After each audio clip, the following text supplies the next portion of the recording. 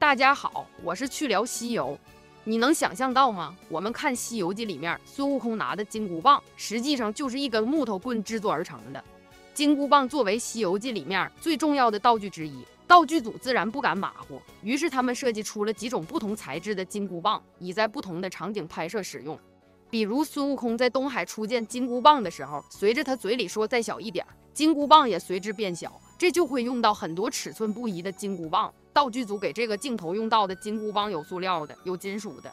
我们平时看到孙悟空手里拿的金箍棒，事实上是用非洲藤制作的。考虑到这种材质韧性好，不容易折断，重量也没有那么重。经过道具师加工装饰，一根如意金箍棒就出来了。你能想到这根重达一万三千五百斤的金箍棒，实际上就是一根木头棍吗？不过这只是其中一种。道具组还设计了一款铝合金材质的金箍棒，是专门用来拍特效的。它的一端是封口的，另一端有个帽，可以像螺丝一样拧下来。金箍棒是空心的，当需要有特技镜头的时候，就可以往里面塞一些烟火材料。